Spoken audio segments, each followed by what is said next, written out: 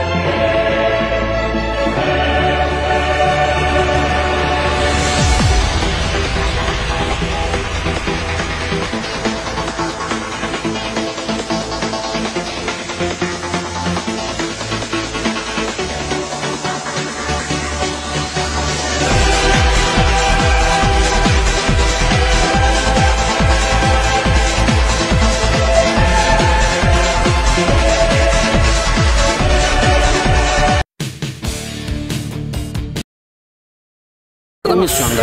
Tabii grupların ilk maçı Vefa rahat galibiyet aldınız diyebiliriz. Bir iki cümle alalım. Evet, grupların ilk maçında e, güzel başladık. E, Vefa'ya karşı güzel bir galibiyet aldık. Umarım bu gal- galibiyetlerin devamı gelecek. Gelecek rakiplerimizi bekliyoruz. Tebrikler olsun. Sağ olasın. Teşekkürler.